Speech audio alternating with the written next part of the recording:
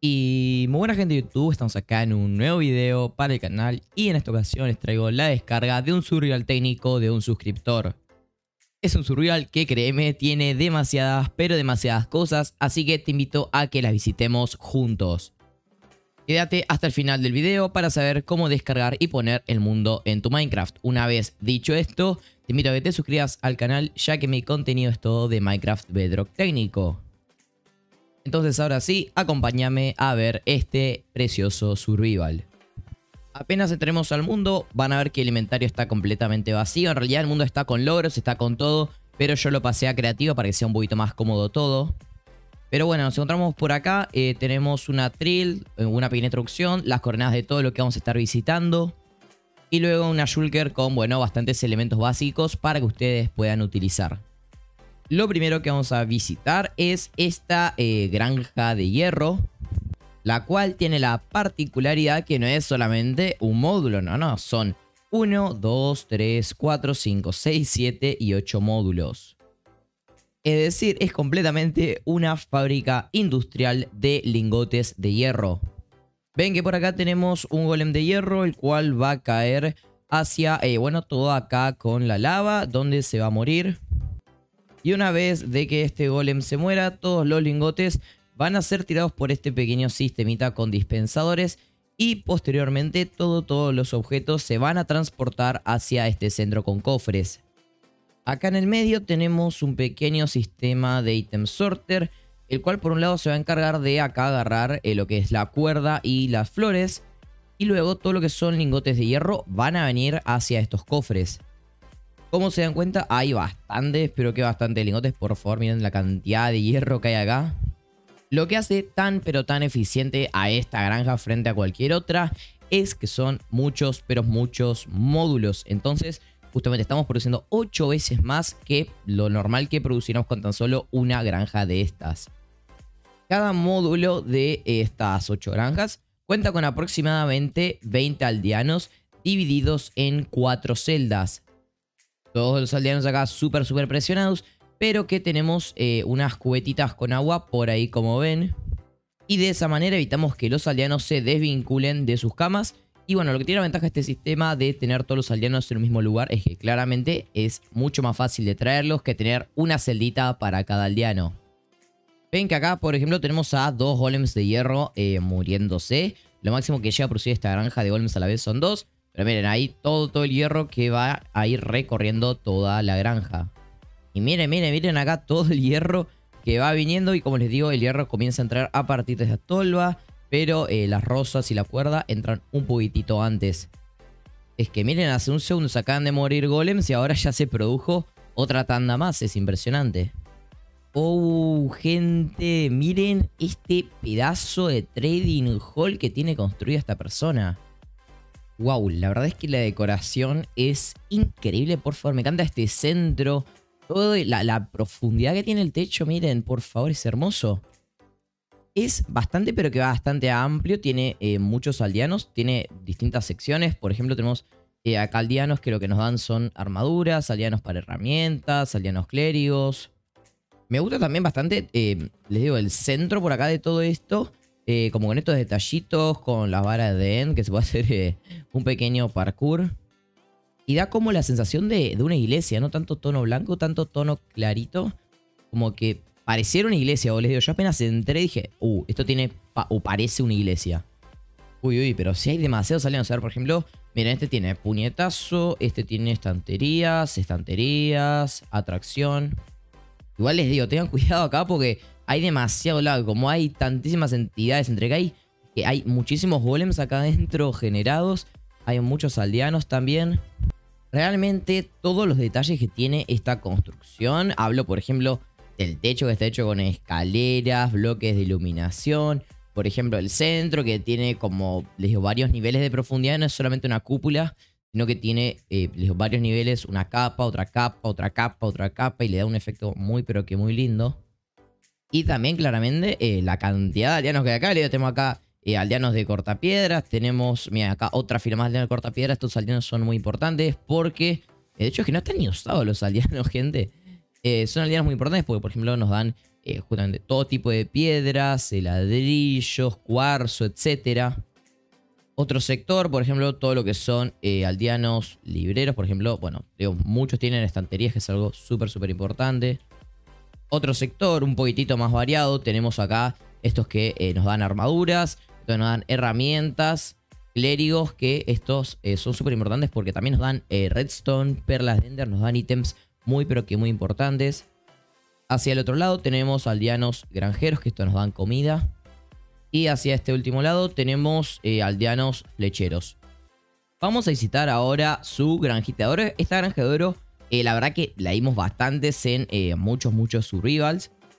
Pero bueno, vamos a repasar eh, un poquitito cómo es que funciona su mecanismo. En esta parte superior tenemos este mecanismo con pistones y lava que lo que hace es encender el portal lo más rápido posible. Por la parte de abajo tenemos este sistema con dispensadores que lo que van a hacer es eh, colocar el agua para romper el portal. Entonces cuando el portal se rompe, este sistema va a encender el portal, luego se va a romper el portal y bueno, así todo un ciclo infinito. Lo que está bastante bueno que tiene esta granja, que tenemos por acá un sistema anti-lag para que los portales, eh, bueno, no se queden prendidos todo el tiempo y produzcan mucho lag. Y esta granja cuenta con un total de 4, 8, 12 y 16 portales, lo que eh, nos va a producir una cantidad de pigmans impresionante. Entonces, bueno, cuando todos los pigmans eh, son producidos, se van a caer directamente hacia esta zona. Esta zona de acá es la zona de los Trident Killers. Ven que yo voy a depender esto. Entonces eh, los Pigman que estén por acá eh, deberían de comenzar a morir. Pero no porque faltan eh, los tridentes. Justamente hay que lanzar los tridentes. ¿Y por qué no están los tridentes? Porque si nos alejamos muchos bloques desde un tridente que ya está en el suelo, lo que va a pasar es que se va a despawnear. Entonces es importante no dejar los tridentes tirados en la granja. Y si esto ya les parece que es muy complejo, les quiero decir que aún no es todo lo que tiene esta granja por acá, encendemos esta palanca y caemos en, bueno, todo lo que sería el sistema de recolección de los ítems. Que, bueno, accederíamos eh, realmente por esta zona, por cierto, muy, muy bien decorada. En donde, bueno, vamos a tener por acá eh, un par de filtros de eh, carne zombie. Unos filtros por acá de bebidas de oro. Un filtro de lingotes. Y como esta granja ya les conté que produce muchísimos, pero muchísimos pigments. Lo cual significa eh, que va a producir eh, mucha carne de zombie. Ven que de hecho por acá tiene este shulker lleno de carne y este también.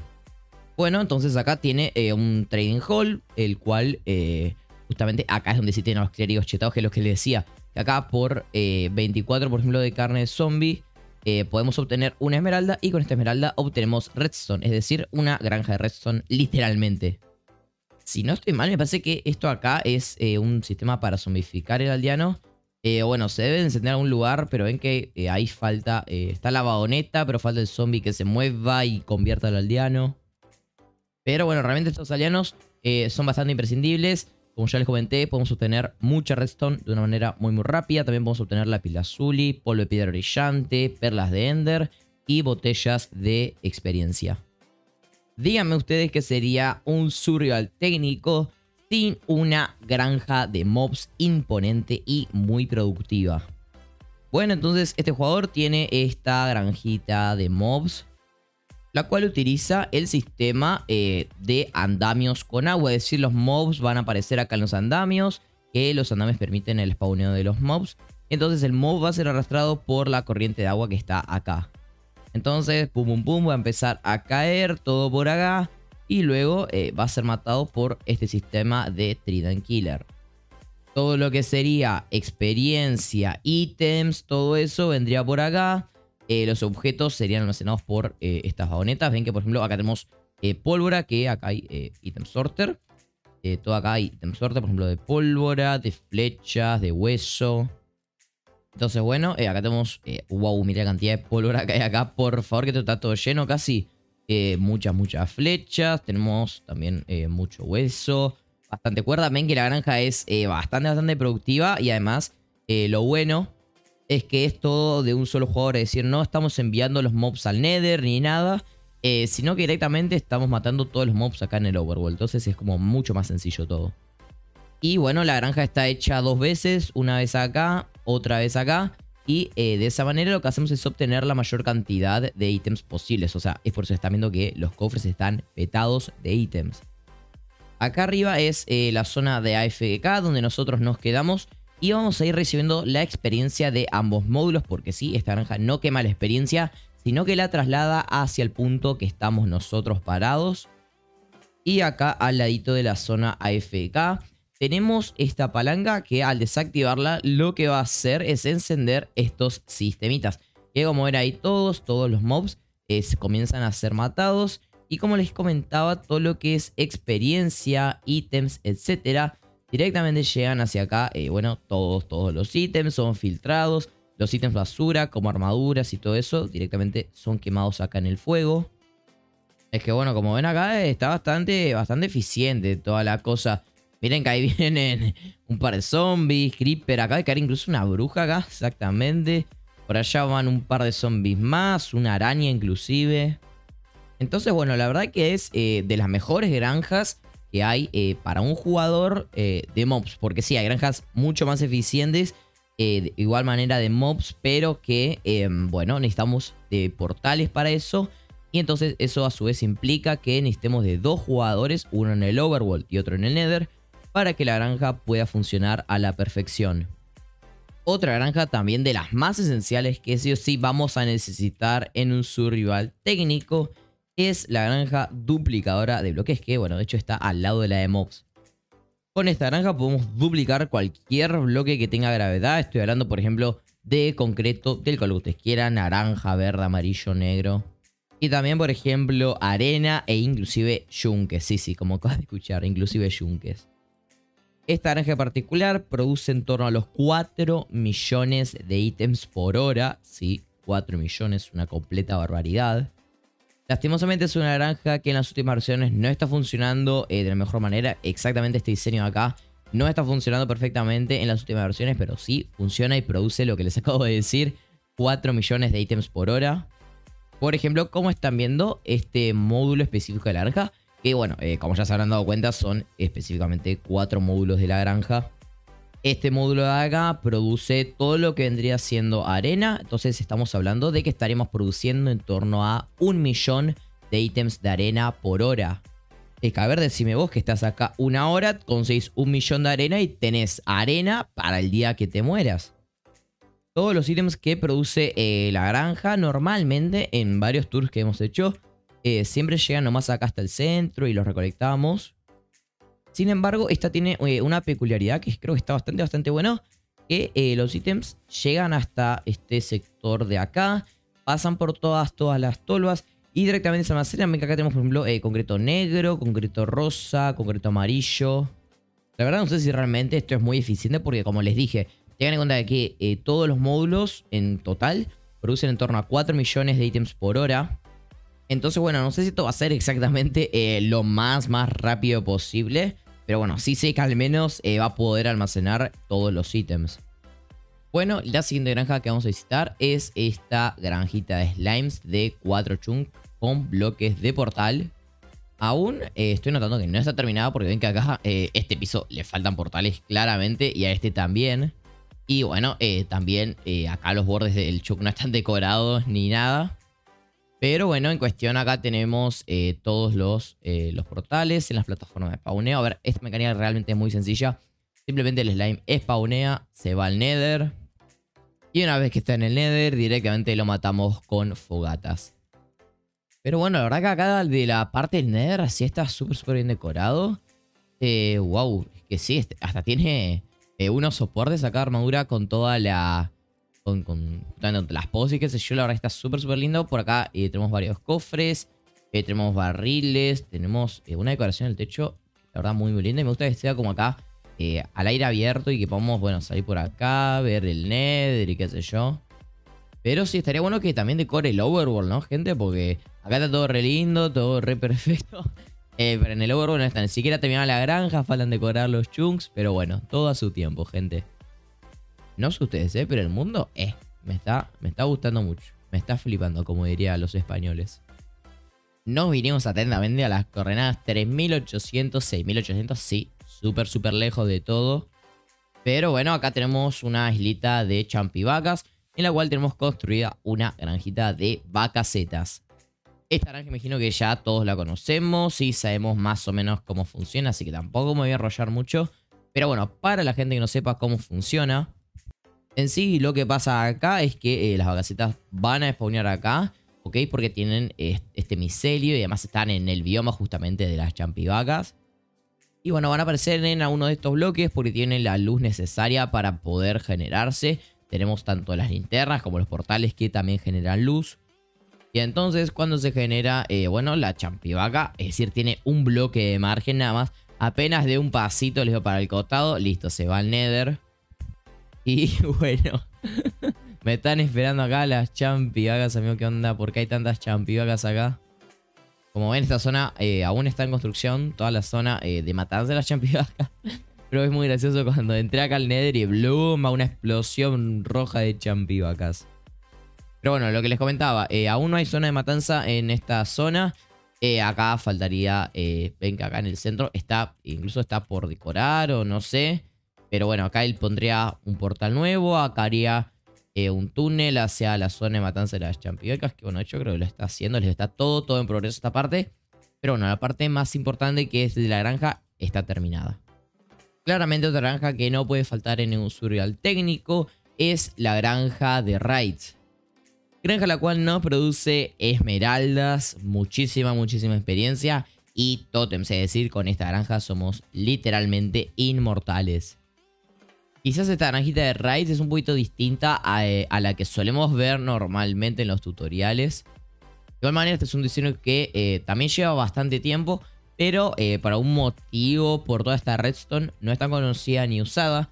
Pero, a ver, el sistema es bastante sencillo. Tenemos por acá toda esta cuerda. Entonces, cuando spawnea un pillager, vamos a contar que esto es un pillager, ven que los pistones se van a abrir. Y todos los pillagers, toda la raid enterita, Va a comenzar a bajar por acá. Esta lava es para que se mueran eh, los toros, esos gigantes. Eh, y bueno, que se mueran por acá. Y luego eh, todo lo que vendré siendo los pillagers se morirían por acá. Y posteriormente em, todos los ítems van a ser almacenados en estos cofres. Ven que acá tenemos, bueno, por ejemplo, pólvora de las brujas.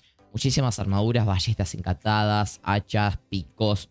literalmente de todo, gente ven que el sistema de matanza para los pillagers eh, con bandera es, igual o similar al que tenemos arriba. Simplemente cuando aparece un pillager acá, se abren estos pistones, bueno, se deberían de haber abierto. Ahí está. Y directamente el pillager se muere ahí en un Trident Killer. Entonces ahora, luego de visitar casi todo lo que tiene, aún me quedaron cosas, pero como tienen un libro apenas entrar al mundo, van a poder ver qué es todo lo que tiene el mundo y visitarlo bien a detalle, pero esto es como lo más importante que tiene.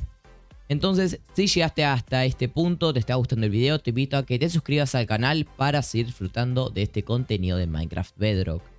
Entonces, para descargar este mundo es súper, pero súper sencillo. Lo único que vas a tener que hacer es irte al final de la descripción de este mismo video que estás viendo ahora. Ya, ya, al final de la descripción. Donde te va a mandar específicamente a este minuto que estás viendo ahora mismo. Y bueno, un poquitito más abajo de eso vas a encontrar el link a un video anterior del canal que de seguro estoy muy muy seguro que te va a interesar. Y en el comentario fijado de ese mismo video vas a encontrar un link directo a Mediafire para descargar el mundo en MC World. Es decir, cuando se termine de descargar el mundo, vos tocas la notificación de descarga finalizada y ya te lo va a importar automáticamente a tu Minecraft. De igual manera, si tienes alguna pregunta, puedes dejármela acá abajo en los comentarios. A ver, lo vuelvo a repetir porque sea una duda. Final de la descripción. Tocas en el link del video. Y en ese mismo video, te recomiendo que lo mires porque va a estar muy interesante. Pero bueno, la cuestión, en los comentarios de ese video que te dejo en la descripción, vas a tener el link de descarga. Entonces, bueno gente, espero que te haya encantado el video del día de hoy. Si fue así, te invito a que te suscribas al canal y le des like. Ahora sí, yo me despido y chau chau.